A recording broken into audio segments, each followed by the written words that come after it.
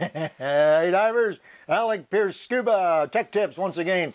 Now this uh, tech tip for some of the older divers, you don't think is pretty goofy, but you know for newer divers who don't really know about flags and floats and the ins and outs of it, just be patient, okay? There might be something in here for you all to learn, but anyway, flags and floats. Now flags and floats have been around since the dawn of diving. The dawn of diving, I like that, that's a good saying. Anyway, uh, uh I started diving in 1958. 1958, yes. Um, and uh, we had a flag and float. Darn right, we are supposed to have, we knew we had to have one. So we went and got an inner tube, just an ordinary black inner tube. And uh, we had tied a, tied a stick onto it, uh, a, a, a, wooden stick, broomstick handle, and probably, as I recall. And I made up a dive flag. We actually didn't have a, a true dive flag until the early 60s, but we made up a flag. I think it was red. And then soon after that, the dive flag came out, and, and uh, we had a real dive flag, and that was it, inner tube. I tied a rope to it, and it was great. I drove, did a lot of diving in in uh, in uh, the Fenland Channel, which was a very narrow uh, channel with very high walls, limestone walls. Went pretty quickly, and boats went up and down that channel, but it was quite narrow. So I had to have some kind of a float so that I could get to the surface without uh, being run over by a boat. And that really is the reason for a flag and float, is to mark where you are underwater. So if you have a flag on a float and you go out into the water and you stay reasonably close to it, I mean, it makes sense for you to stay reasonably close. They usually say within 100 feet of the flag and float and underwater, and you total on behind you, uh, then uh, boaters and other people who know that there's something down there. Uh, boaters, uh, and I, I boat, uh, boaters aren't uh, sometimes the brightest people in the world. how can I put this? Well, they don't, they don't learn about flags and floats. If you're a scuba diver, you learn about dive flags. If you're a boater, well, you learn about dive flags. So they don't know what a flag. I've actually had my flag and float out, and a boater's come zooming over in his boat to take a look at it to see what it is. You see? So even with a flag and float, you still have to eh, exercise a little bit of common sense. And don't be in places where boaters uh, are going to bump into it for sure and, and, and where you're causing other problems. But the flag and float can be very useful for many, many reasons. The primary reason is to mark where you are. You can use it to mark you know, wrecks and so on. You don't have to tow with you all the time. Many, many times we'd have a flag and float. We would use it to protect us a little bit while we swam out underwater to a shipwreck then once we got to the shipwreck, we tied the flag and float to the shipwreck.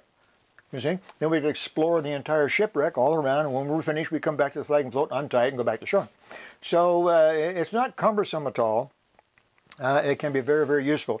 Now, generally speaking, of course, we're talking about you diving with your dive buddy. We're not talking about organized dive charters down south. You don't need a flag and float there. Uh, the dive masters, the boat charter, they take care of safety. They have a flag on the boat. And usually you're diving in areas where, where dive flags are respected and people know diving is going on and everything else. But if you're diving on your own, if you're diving in the Great Lakes or you're diving offshore in California or, or in Florida and on, on your own off, off the uh, northeast shore, places like that, you and your buddy or a small group, you should have a, a flag and float. Okay? Well, so now this one interesting is old. This is very old. You can see this old dive flag I have on here. This is my own flag and float. I guess it's time to replace it. This is from an old dive store called the Wet Shop that I owned about 20 years ago, big dive store. And this is a this is actually an inner tube. Yeah, you're looking inside to see it's an inner tube. and uh, so this is just a, a fancier version. We have this nice nylon cover for the inner tube. It has a mesh bottom and it sits on the service, has handles on it, so you can grab it, use it for support when you come to the service. You can actually put things in here, and all you can put stuff in here like beer, um, um, stuff you want to keep cool, or fish, lobsters, and so on. It's really pretty handy. This has been around, around for a long time. I think you can still buy these. They're pretty handy. You put a nice long rope on it, maybe 30 or 40 feet of line on it. This is really strong line and use it to tie off down at the bottom. You notice this, this uh, neat uh, orange holder. This is actually designed so that you can put your arm through here, you see, and you can tug some along and tug this along on your arm and have your flag and float up above you. And it'll tuck inside when it's not being used. And the flag as well, with its, with its uh, rod, pops off. It's got a special clip, goes on the inner tube, and that pops off when you're not using it, and you tuck that in there, and away you go. It just sticks in the back of your car. Now, one downside to this is that it's pretty bulky. If you have a truck, a pickup truck or something, and there's a group of you, that's not a problem. But see, it's pretty bulky, you know, so so that's the only downside to it. It's not, not terribly expensive, and this is a, a good example of a very, very good heavy-duty flag and float with an inner tube. One minor problem you face these days is finding an inner tube. It's actually not that easy anymore. You have to go to an automotive supply store. They don't carry them in the hardware stores anymore. Not that many cars use inner tubes. Now, in order to use that, you need to have a dive flag, and you can still buy dive flags. That's pretty easy. Any dive store will have a dive flag standard 20 inch. I don't know how they settle on 20 inch, but it seems to be the standard size for dive flags. 20 inch dive flag, and I don't need to explain what a dive flag is to you, I'm pretty sure, hopefully not. A dive flag looks like this, red with a white stripe. Uh, this actually has proportions. I don't know if you knew that, but uh, it actually has proper proportions. This white stripe is supposed to be one unit. What does that mean? Well, what it means is if this is three units across, meaning if say it was three feet, then this would be one unit in width. So this would be one foot. Yeah. If this is two units across, two units, we'll call it two feet, then this would be one. No, it'd be a smaller unit. Anyway, it is actually proportions in this. And uh, there you go. There's a typical dive flag. Now, this particular one you can fly from the mast. If you're diving from your boat, you can fly it from the mast. And it has slots on the arm and on the sleeve. So you can actually put rods in there to hold it up so it stays out, even if it's not windy. I mean, a flag is supposed to be used when it's windy, right? If it's not windy, you still want people to see the dive flags. You have to figure that out. But let me show you a couple of of uh, individual diver or dive buddy flags and floats that work really, really well. Here's one example. Now, this is pretty, pretty handy. It's not big, but it floats very, very high because it's a plastic ball, essentially. And when it's full of air, it floats very high in the water. It doesn't sink down. It floats right up like this. So even though it's not terribly big, it actually stays, it's quite quite visible. And you can see that on the top there's a there's a rod that sticks in there and there's a flag comes out of that and you just blow it up and stick it in there. Now it's kind of unique because in the bottom they have a second chamber down here and you can put some water in the bottom. This is some in it now. water in the bottom, which gives it a bit of weight. And then you tie your line onto this onto this rubbery ring on the bottom and off you go. Okay? Now these you can carry in your dive bag. There it is folded up. It's nothing. There's nothing. So you can stick this, keep it in a bag of some sort, stick this in the bottom of your dive bag, and you got it all the time. If you don't need it, just leave it down there.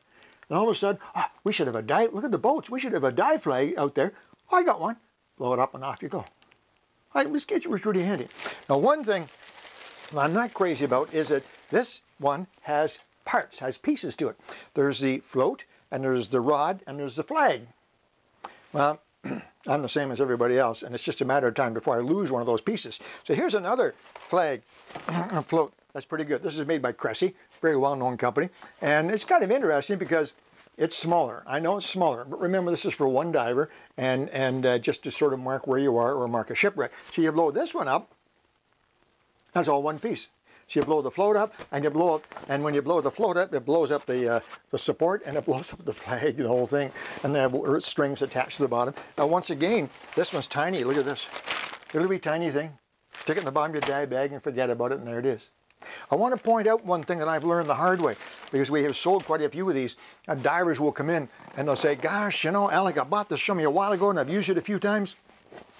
I put the string through and I tied the string off and it's actually torn right through that rubber. This happened many, many times. And so far, these dive flag manufacturers, float manufacturers, haven't been able to fix the problem. And, but the trouble is that if you use a, a fairly fine line like this stuff here, this is quite coarse. It's not big, but it's quite coarse. If you put that through the ring, as the flag bobs on the surface of the water, that string pulls back and forth, and it literally saws right through that rubbery, plasticky ring on the bottom saws right through it. And there's no way to fix it, no way that I've found anyway. So if you do get one like this, or if you have one like this, check and be sure that that's not happening to yours. But all you really need to do is get a fairly thick rope. Get a piece of nylon rope, maybe about a quarter of an inch diameter. Put a, bit just a short piece, just get about a foot long, okay? And put that through that hole, get it through that hole, it'll almost fill the hole, and just tie it in a loop. So you have a nice six inch loop of soft nylon rope. You follow me? And now hook your other line onto that. And it won't saw through this. I've seen it happen many, many times. And if it does saw through there, I'm afraid there's no way that I know to fix it. You can't glue it. It'll just saw through again. So there's a little tip for you if you want to keep your dive float uh, and float the flag in good shape. So there's some good examples of flags and floats. I wanted to point out this neat little device. It's only a couple of bucks just like the earlier one. It's supposed to go on your arm, you see. And it holds about, well, it'll hold 100 feet of line. It has 50 feet on here, 50 feet of line. It goes on there and it ties around. There's even little little area here to hook the line in to hold it steady. These are cheap, plastic, very, very tough. You can pick up the line at any hardware store, you know, for an extra five bucks it comes with it. So this is a really good idea too for towing your flag and float along behind you. Okay. Now I'll show you one more. This is my favorite. This is what I suggest, if you can, that you try to find and use. Let me show you this flag and float. First of all, here's what it looks like in the bottom of your dive bag. Still very compact. Look, very, very small, a little thicker maybe. And uh, rods on there. And these rods are kind of neat because they're all joined together. There's several rods in there, but they're joined together. So you have the float itself and you have the rods. But what do you get? Watch this. Ah, there's a flag and float. Look at that. There's a good old flag. This actually reminds me of the old-fashioned one that we used years and years ago with the inner tube. It's almost the same. There's like a big blow-up inner tube here. Bright yellow. And this bright yellow really shows up well. It's got diver below written on it, which can't hurt at all, you know. It has a couple of chambers as well. There's two or three different chambers here. So even if this did get a hole in it, it would still stay inflated. So that's pretty good, huh? It also has That same rubbery ring on the bottom, don't forget what I told you, get a soft piece of rope, like this rope is nice and soft. Make a loop, then tie your, it also has on the side, look at this, so if you come up to it, you can grab it and hang on to it. So a couple of divers can hang on on opposite sides and talk to each other on the surface. And so you get it blown up nice and hard, and then I showed you earlier, those rods, well, there they are. There, Look at uh, that. That's pretty slick, huh? This is this uh, flag and float is uh, sold by Innovative Scuba. Any decent dive store would have a good quality flag and float. And even though it's very, very good, very visible, very big, very tough, and certainly does a good job, it's not terribly expensive. You should be able to get one of these for $30, $40 in that area. One other nice thing that I like about this particular flag and float is that it's got a hole in the middle for storing stuff. Yeah, yeah. If you got a cold can of pop or, or, or if a fish or maybe some other stuff that you need, you can stick it in there. Camera, whatever you want to keep on the surface, you can stick it in there and it's pretty secure in there. So there's, a, there's what I think is a really, really good flag and float if you need one. And again, it wouldn't take this traveling. If you're going on a dive trip, you don't need to take a dive flag and float with you. But if you're diving here and you know wherever you are locally, uh, I'm getting comments from from uh, from viewers of these tech tips from all over the world. So I can no longer say the Great Lakes or North America. Gosh, you could be diving off the coast of uh, England, or you could be in Australia. You could uh, all over. I've, I've, had comments coming from the Mediterranean, from Spain.